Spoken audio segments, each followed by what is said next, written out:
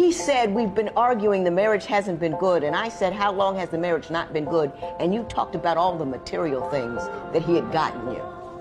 You have to work for the things you want. You have to sacrifice for the things you want. He doesn't want to have kids with you because he doesn't think you're quite up to the job. He doesn't think that the marriage is a stable and a good one. He's beginning to see that as the money wears down, your love is wearing out. Family, this was a real interesting case in which a woman was ready to divorce her husband because he had seen behavior she had shown throughout the marriage and he was reluctant to have a child with her. And the reason he was reluctant to have a child with her apparently was because he spoiled her during the relationship and I guess he had fallen on some financial hard times. And the second that happened, she began to give him nothing but a ass to kiss. And when she demanded a child, he was reluctant to do so. You got to understand, marriage is hard and raising children is difficult as well.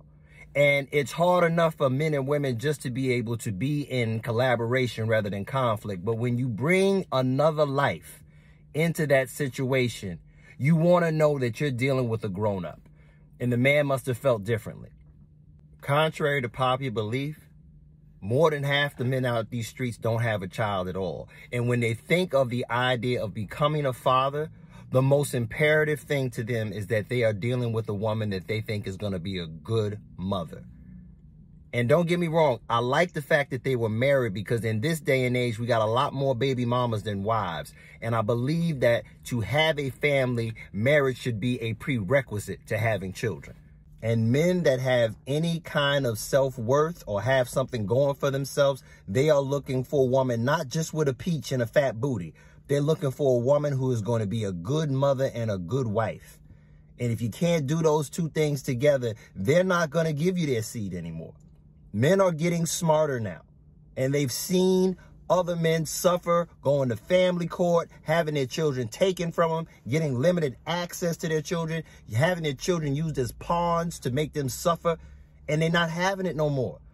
And at the end of the day, the real testament the kind of partner you have, whether it be a man or a woman, is how they treat you when things aren't all going smooth, when the money isn't coming in the way it used to, when they can't take you on the trips that they might have been able to take you on previously or do the little extras for you.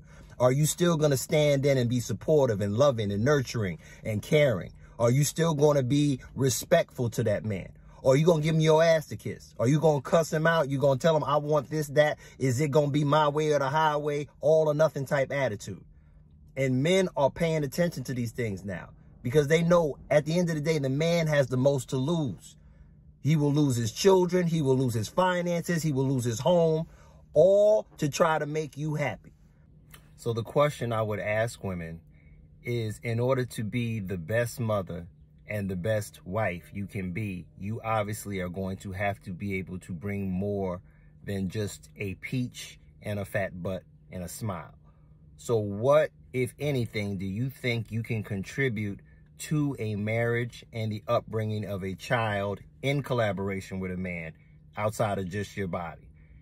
And what is it that you think he should bring to you?